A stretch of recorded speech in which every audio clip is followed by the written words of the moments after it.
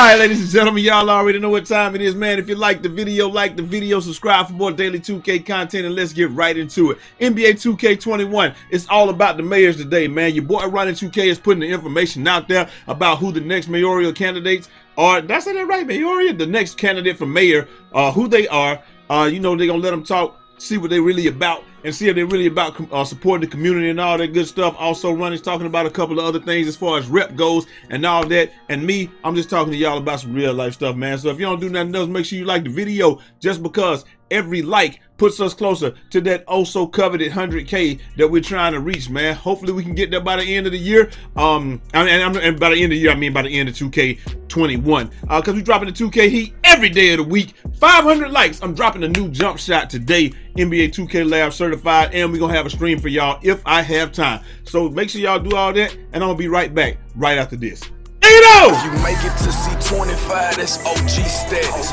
I was told you could be anything, just don't be average. Down bad, flat pockets, that shit made me a savage. Start hustling non-stop, don't plan on breaking that habit.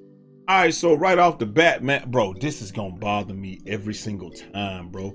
Like I don't even understand how that happens, but you know it is what it is. And watch this. Is it the right screen? Yes, we got the right screen. Sometimes I come in here and I do a whole lot of prep work. Some days, like I, like the day I had to do a lot of running around. I'm trying to find a graphics card. I was trying to find a GTX 3060 or a 3080. I'm not going with the 3070 in between. I'm either gonna go 3060 because I got a 2060 Super in my joint. So I'm either going 3060 uh, you know, just a little upgrade on the low end. I'm gonna go 3080 and big dick it. But I really think what I'm gonna do is I'm gonna wait for the 3080 Ti. They say it's supposed to have like 20 20 gigs instead of the 30 gig. I mean the 24 gigs that the uh that the 3090 has. And then you know I'll probably just go from there. Honestly, if the 3090s came down to about a grand, maybe even 1200, I might get it. But you know it is what it is, man. Anyway, so that's why I got my little Falcons jacket. I had to go up there incognito because I done been up there like every day this week, bro. And I bought a couple, but like people kept buying them for me before I could even really do anything. So you know how like how like people be like, hey, I'll buy that off you for 1200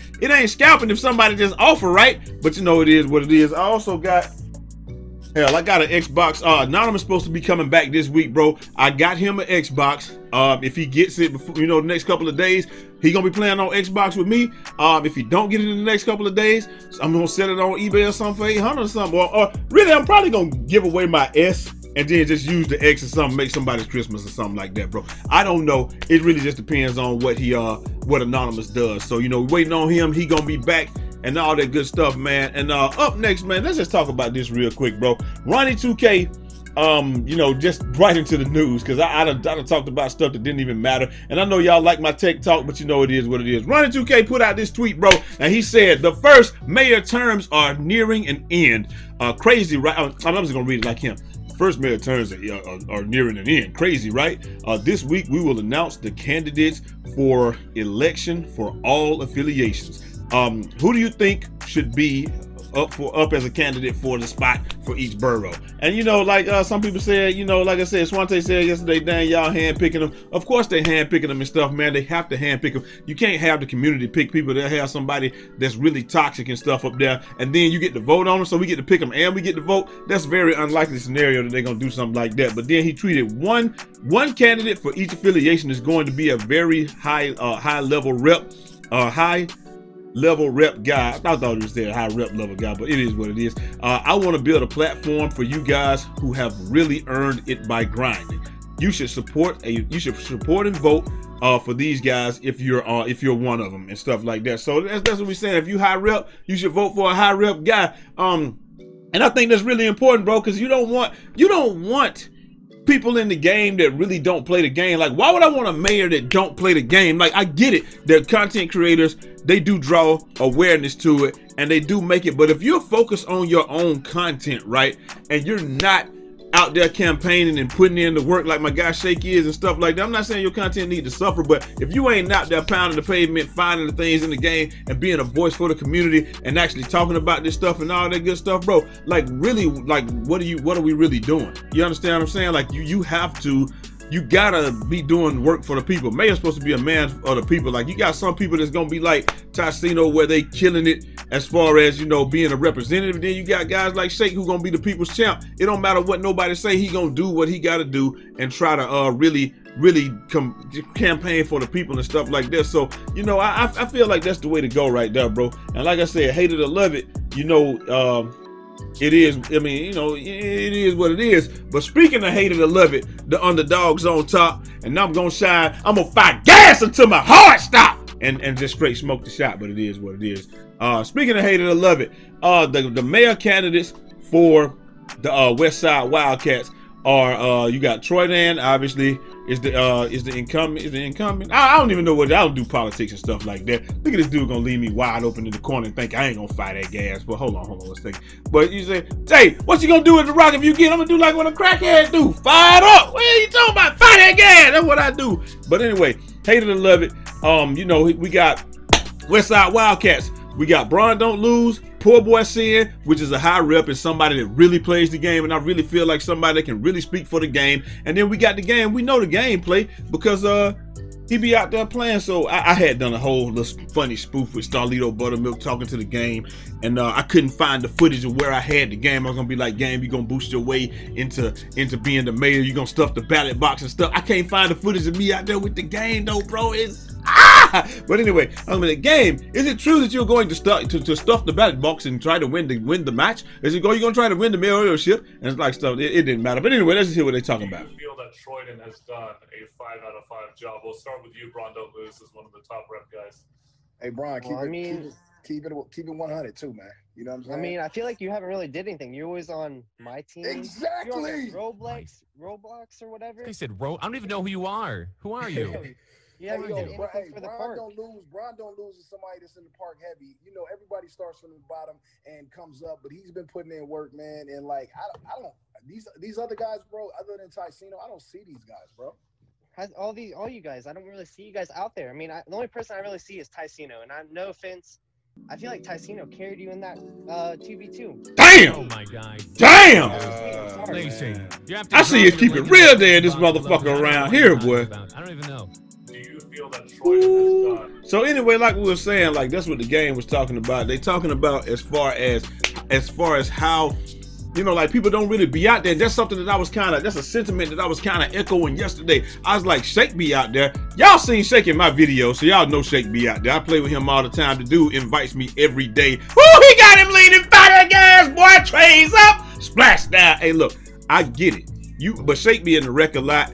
He's on the scene a lot. He's doing videos. He's doing the top 10. The dude had four kids, I mean, three kids in like a year. And like all this stuff, bro. Come on, man. Shake is out there doing as much work as anybody else. He is playing the game and he is out there. Now, he don't stream it like that. But just like you said, you don't be seeing grinding out there like that. Like, not to say they're not playing the game. Obviously, they're playing the game, but you don't see them really on the scene like you see these other guys, man. That's all. That's all people trying to say. Like you, we want the mayor to be kind of visible. Other than Tyceno, you really don't see them guys on the scene. And Shake streams as much as he can. He was streaming on the 2K channel the other day and all that stuff. And like I said, I play with him all the time. I can attest to how much he play. But you know, it just is what it is. Like I said, Grinding and Troy, and they might not be out there as much, man. I'm just saying. This is what this ain't me saying, and this is what they saying. Are they lying? They just hate. You know what I'm saying? I don't know. But uh, like I said, for the next mayor joint, uh, you know, we got Ronnie 2K out here talking, and he talking to Stacks Montana, um, my guy Mohammed Buckets. Y'all know this my guy because he in the intro,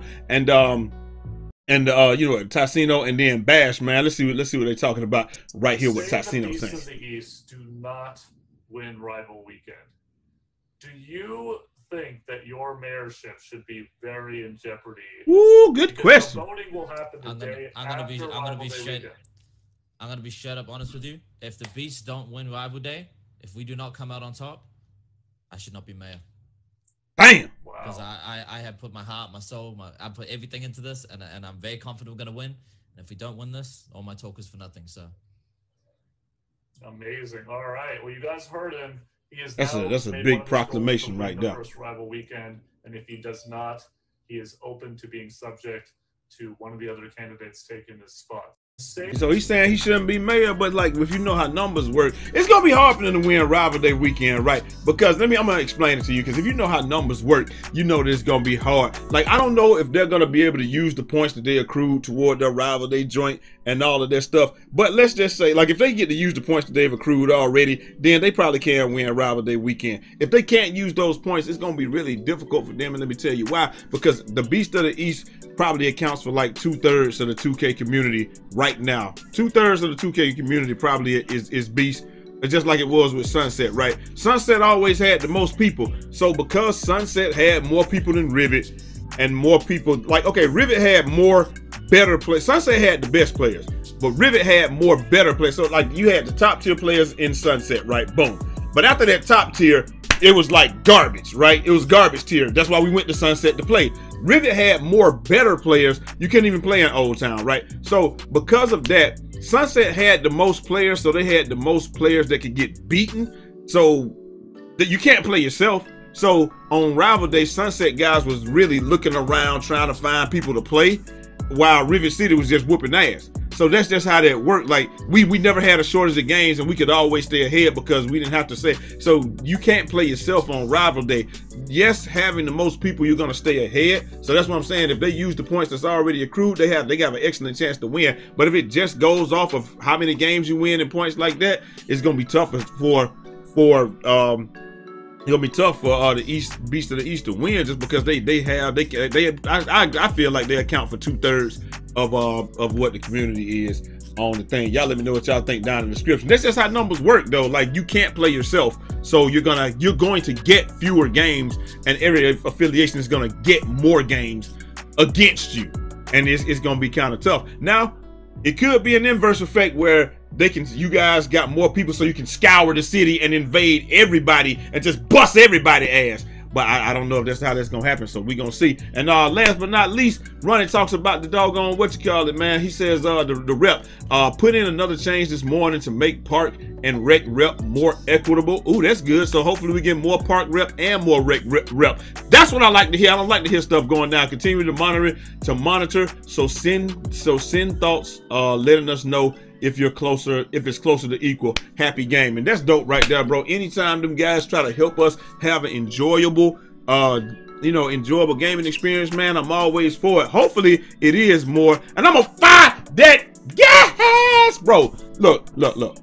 These four whites got to stop, bro. Look, this is obviously a green that I timed perfectly and it says slightly early, but I get the animation. Like, come on, bro. Can we do something with these? If you do a full white animation and that, and you get that, I'm not mad because you got the animation at the same time. But let me know this before we go. How many games have y'all played lately where it feels like the other team hit every white that they shot and didn't hit any greens, and then you guys had the green every single shot?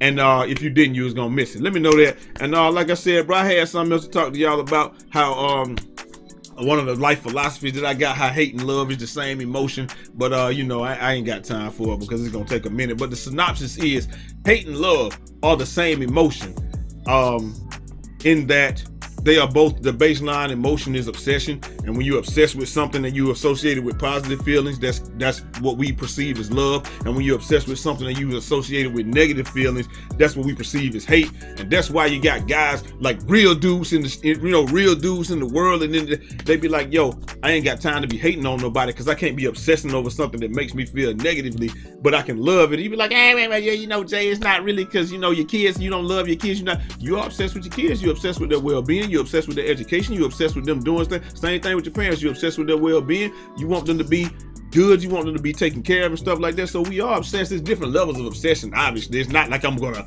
I'm gonna kill you, chick, if you do this obsession. It ain't that. It's just like I want to make sure you're taken care of. Like I love this game. I'm obsessed with the game, but you can also be obsessed with something and not love it or hate it. I'm obsessed with perfection right? But I don't love or hate perfection and stuff like that. So it's hard to explain, but you know, that was just something that I that I was just throwing out there. Hate and love really the same emotion, this baseline obsession, and then it's just if you take it negative or positive, you know, that's what you get. That's how you get uh, either love or hate. Because let's think about it. The dudes that are your your biggest fans are your biggest hate. Like Soul Illuminati say, your biggest fans are your haters. Like they dare to dislike the video before it even start. Like that's crazy, right? So you gotta be obsessed and you really, you know what I'm saying, you really are obsessed but you just associated with negative feelings. And it could be because I was addicted to you in the past. It could be because I ignored you somewhere. It could be because you were one of 30,000 messages that I got in my inbox and I just can't answer them all. And you know what I'm saying? It could have been any of that stuff. Like I, I, I could have been no reason at all. It could be because I'm 6'4, 225, you know, ripped to shreds and just pretty as hell with a luscious head of hair at 95 years old. It could be anything why people would hate you. But yeah, I feel like y'all let me know what y'all think about that. Hate and love is really just obsession and then it's just mixed with another emotion. So when you add, you know, what makes it hate is the it, what is is the anger that surrounds it, or what makes it love is the positive feelings that you that you have uh, around it. I don't know. It's just something that I was thinking about, man. I thought about it and I woke up this morning. I was like, damn, that's profound. It is what it is, man. I'm out of y'all next time. Y'all, y'all let me know what you're thinking. Until next time.